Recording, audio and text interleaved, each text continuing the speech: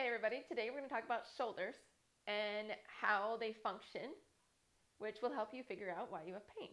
And also how to reduce pain or not have pain and keep you out of trouble. My name is Liz. I'm a physical therapist at Blue Ridge Biomechanics, whitewater kayaker, and mountain biker.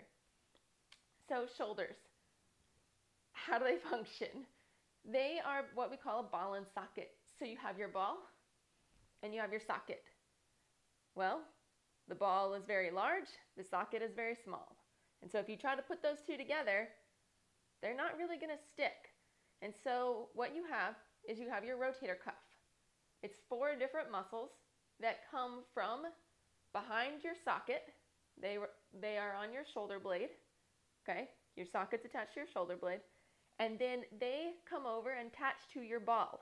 That sucks your ball into the socket and keeps it there.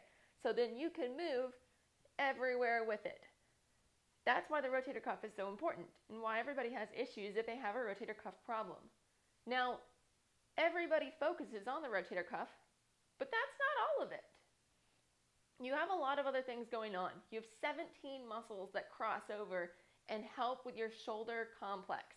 It's called a complex because it is complex. 17 muscles.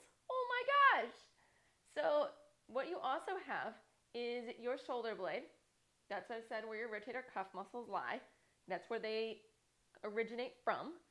But you also have to connect your shoulder blade back to your body so it can have strength and control.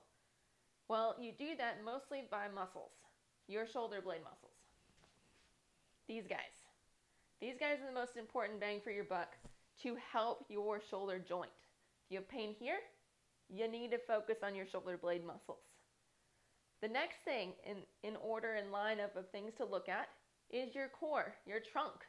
If you can't rotate your body, if you can't move, then you are going to put extra pressure on your shoulder. If I'm going to reach out, I can reach out with my arm, or I can twist my body and now my arm doesn't have to reach out quite as far. The farther you have to reach out your arm, especially for kayaking, the more stress you're going to put on it. And so if you can reach through your body, then you don't have to do as much with just your shoulder. This is where your mid back stiffness, your mid to upper back stiffness comes in. It's also where your core comes in.